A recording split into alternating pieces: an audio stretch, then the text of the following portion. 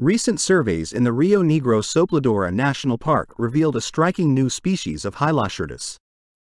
The genus Hyloscirtus currently includes 39 species of stream-breeding tree frogs, representing a distinct group of riverine amphibians distributed from Costa Rica to Bolivia.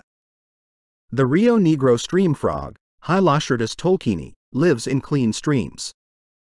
Their primary habitat is riparian which is an area between the land and a river or stream.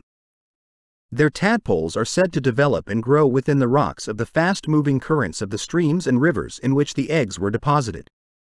Urgent research and monitoring actions should be established to study this frog's behavior, population and trends, survey new sites where additional populations may exist and evaluate if threats are impacting its long-term conservation, such as invasive species, emerging diseases, or climate changes.